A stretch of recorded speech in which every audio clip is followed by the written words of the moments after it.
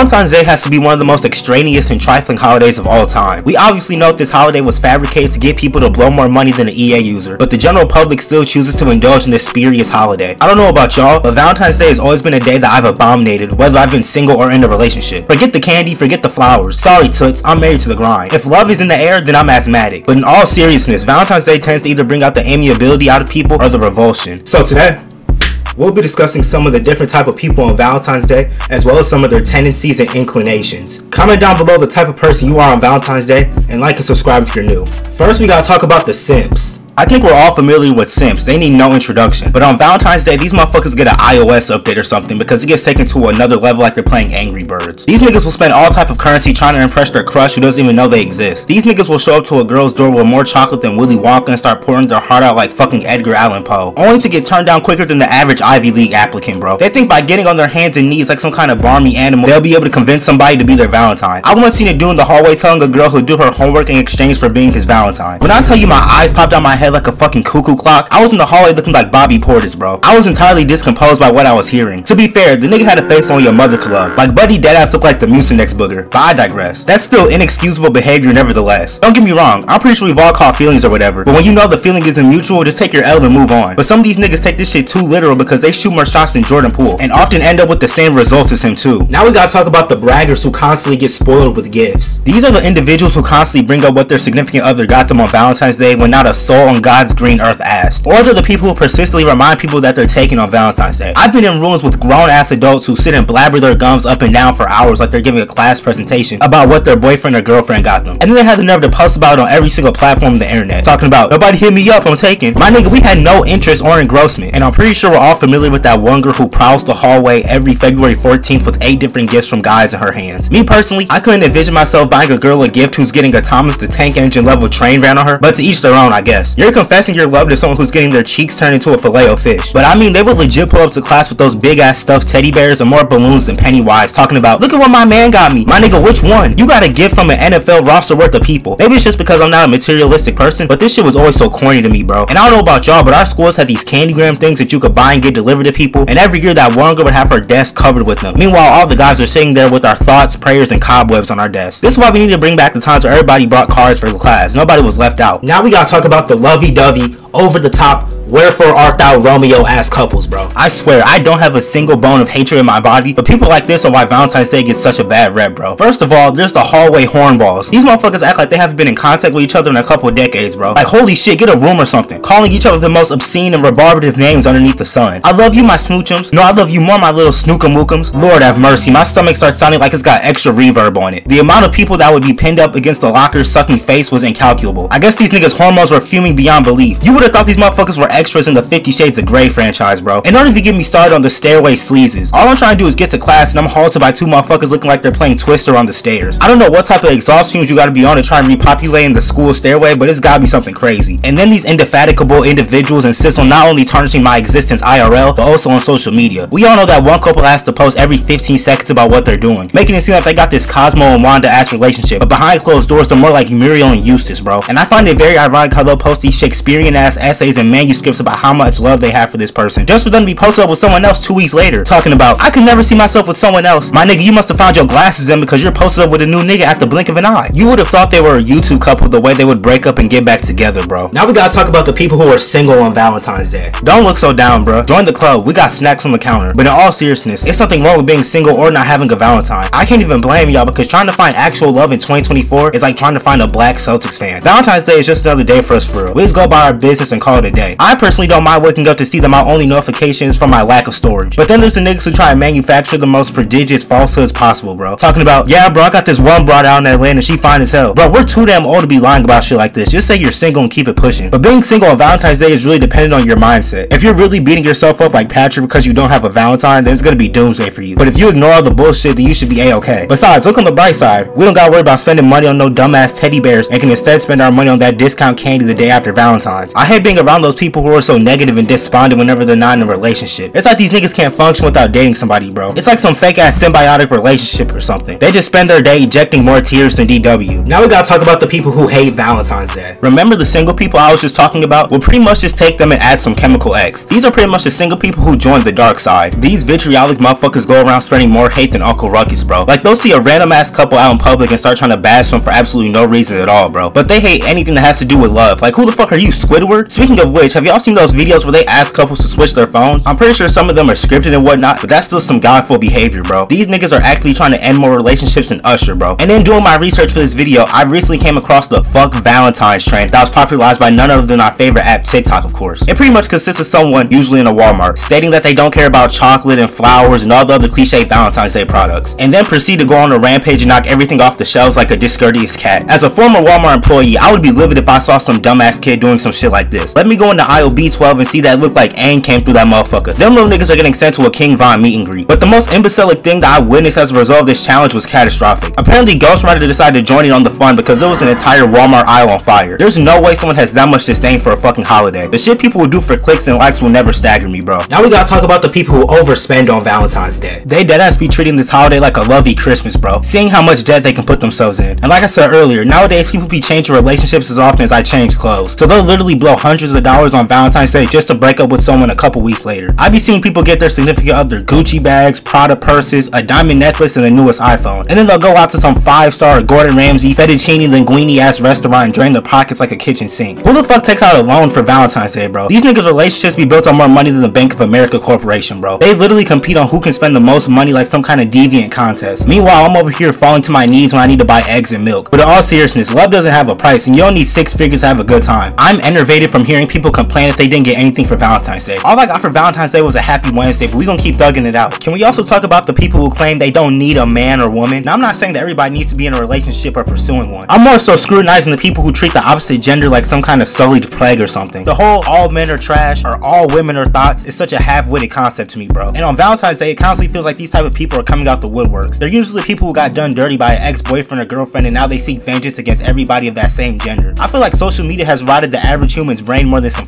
fungus. But apparently toxic love and relationships is what gets people riled up more than some energy drinks. Hence why people are constantly talking about Blueface and Chrisean Rock. Moral of the story, every human's fucked up regardless of the gender and we should all put our problems to the side and sing kumbaya amongst the campfire. But in conclusion, Valentine's Day is unbearable whether you're single or taken. As long as you're not drawing faces on your hands, then we should be cool. And if you are in a relationship, you should love that person every day, Valentine's or not. But I think it's gonna wrap everything up for this video, man. Comment down below the type of person you are on Valentine's Day. Like and subscribe if you're new. Join the family. We going crazy. 2024 takeover is in full effect, baby. Thank you if you made it to the end of this video, man. Thank y'all for rocking with me. It's always a pleasure to chop it up with y'all. You know what I'm saying? I'm blessed. I'm honored to be able to make videos for y'all. You know what I'm saying? We going crazy. I got some heat on the way, and thank y'all for rocking with me. But I hope this video finds you in good spirits. Thank y'all for rocking with me. I'm G Grimey. It's been real. I'm out. I love y'all. Peace.